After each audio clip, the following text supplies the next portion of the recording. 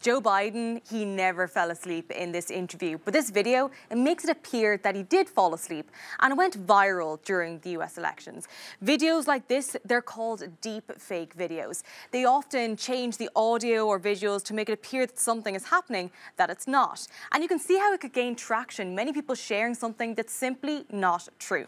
Deepfake technology has been a concern for disinformation experts for a considerable amount of time. And one of the big questions is how to deal with technology technology like this in an era where misinformation and disinformation can spread so fast?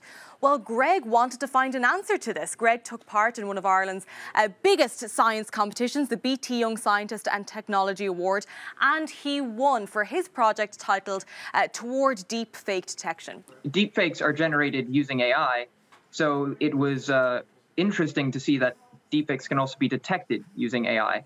And so my project uses artificial intelligence uh, to detect deepfakes, which is a, a thing that is done currently, but mine does it 10 times faster.